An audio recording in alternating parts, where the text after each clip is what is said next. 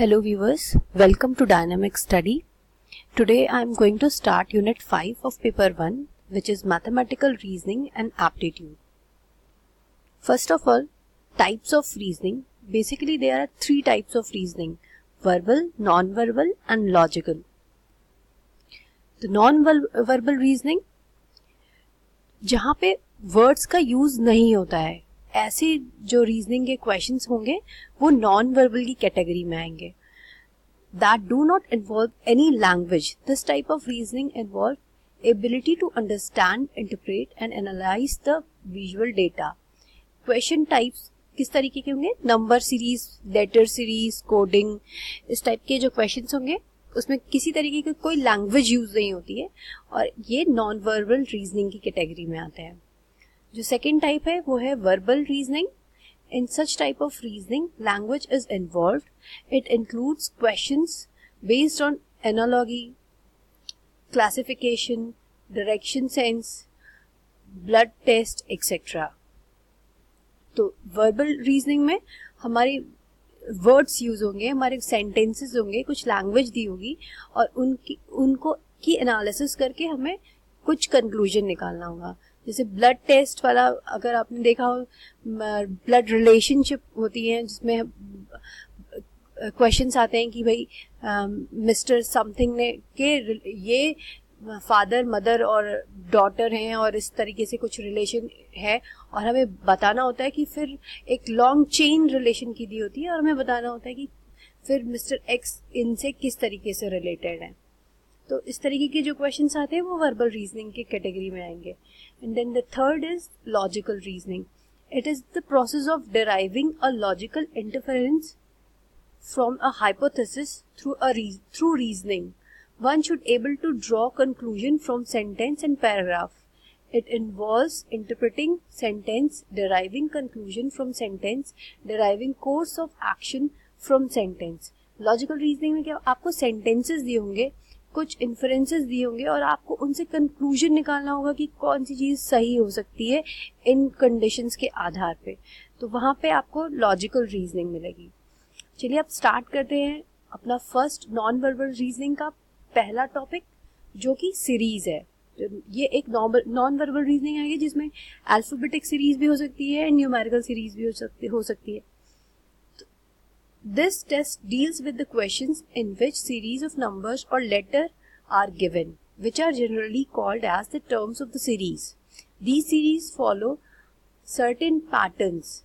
We are required to recognize the pattern and either complete the series with suitable alternative or to identify the wrong term. तो हमें एक series दी होती है वो शायद number series दी हो या कोई लेटर सीरीज दी हो तो उसमें हमें या फिर वो सीरीज़ को कंप्लीट करना होता है, या फिर उसके बीच में कोई कुछ मिसिंग है, उसको कंप्लीट करना होगा, या उनमें से रॉन्ग कौन सा टर्म है, कौन सा जैसे टर्म यूज़ किया गया है कि उनके सारे जो भी यूनिट्स हैं उनको टर्म कहेंगे तो कोई कौन सा रॉन्ग है उसे हमें आइडेंटिफाई करना होगा।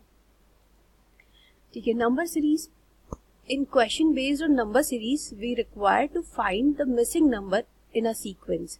The missing number can be in beginning, in middle or at the end of the series.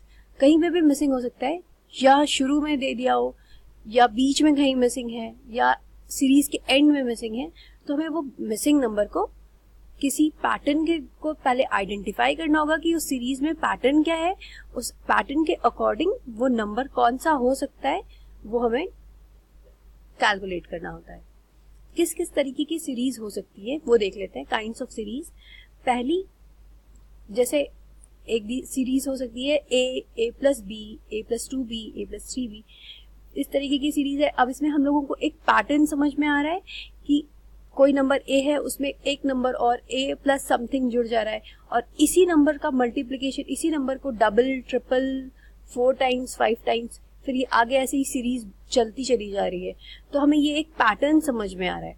अब एक एग्ज़ाम्पल अगर हम लोग देखें, जैसे seventeen twenty three twenty nine thirty five this series में be expressed as seventeen seventeen plus six seventeen plus six या plus twelve that is two into six seventeen plus eighteen that is three into six और ये series आगे बढ़ती चली जा रही है। अगर इसमें हमें आगे का नंबर कैलकुलेट करना हो तो आगे क्या आ जाएगा? 17 प्लस फोर इंटू सिक्स मतलब 17 प्लस ट्वेंटी फोर आगे इस तरीके से हम लोग कैलकुलेट कर सकते हैं। अच्छा जब एडिशन होगा सीरीज़ में तो ये जो सीरीज़ होगी, इसका जंप देखेंगे, कैसे जंप ले रही है। अगर इसके जंप्स छोटे छोटे होंगे, ज़्यादा गैप नहीं है सीरीज़ के वर्ड्स के बीच में तो ऐसे में हम एडिशन लॉजिक लगा के देखते हैं कि हो सकता है कि कोई नंबर ऐड हो रहा हो। पर अगर ये जंप्स बहुत बड़े, थोड़े बड़े बड़े हैं तो चाहे तो इसमें जो लॉजिक लग सकता है वो मल्टीप्लिकेशन का हो सकता है या किसी पावर का लग सकता है। जैसे हम सेकेंड सीरीज़ देख रहे हैं A A R A R square A R cube यहाँ एक नंबर का स्क्वायर फिर का मल्टीप्लिकेशन नंबर का क्यूब का मल्टीप्लिकेशन फिर आगे सीरीज़ बढ़ती जा रही है। अब अगर एग्ज़ाम्पल देखें five fifteen forty five one thirty five four hundred five jump देख रहे हैं हम एक फाइव के बाद फिफ्टीन फिफ्टीन के बाद फोर्टी फाइव तो यहाँ पे नंबर के बीच में गैप काफ़ी अच्छा खासा है और ये बढ़ता चला जा रहा है। तो ऐसी कंडीशन में हम देखते हैं कि या फिर कुछ मल्टीप्लाई हो रहा होगा मल्टीप्लाई हो रहा होगा तो भी जंप ज़्यादा नहीं होगा एडिशन से तो ज़्यादा ही होगा लेकिन अगर कुछ पावर में जा रहा है तो वो और तेज़ी से बढ़ता चला जाएगा। अब इस सीरीज़ को कैसे एक्सप्रेस किया जा सकता है? Five five into three that is fifteen five into three का स्क्वायर या five into nine which is three का square nine is equal to three का स्क्वायर तो five into nine that is forty five five into three का cube that will comes to one thirty five ऐसे आगे ये series बढ़ती जा रही है। इसी अकॉर्डिंग हमें लॉजिक चेक करना पड़ेगा कि कौन, क्या लॉजिक लगाएँ कि हमारा जो सीरीज़ है वो सिंप्लीफाई हो जाए।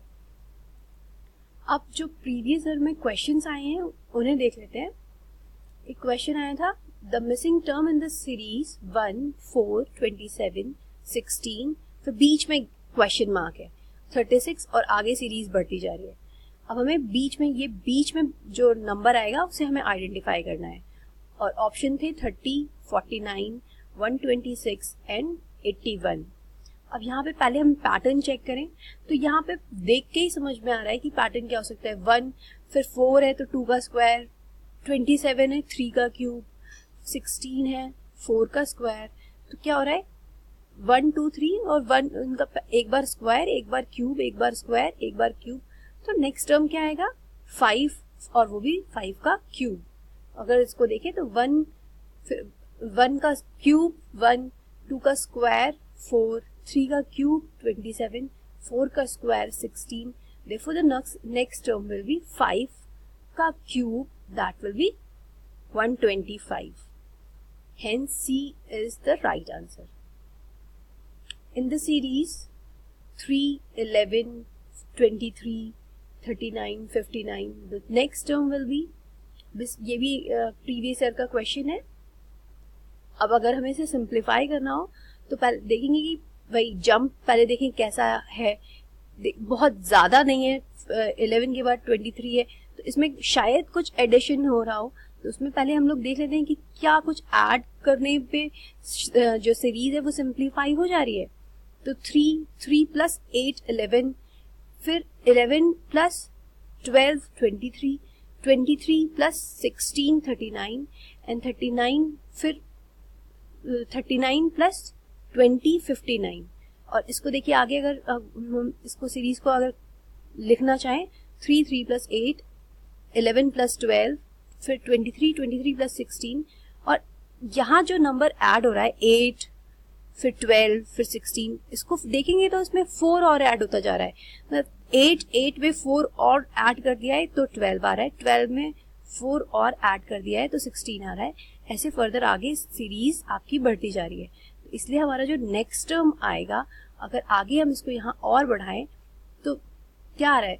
थर्टी नाइन तक हमें फिफ्टी नाइन तक fifty nine plus twenty four आगे बढ़ाएँगे तो हमारा आंसर आ जाएगा। Therefore the next term will be eighty three अब ये थर्ड क्वेश्चन ये भी प्रीवियस ईयर के क्वेश्चन पेपर में आया हुआ है।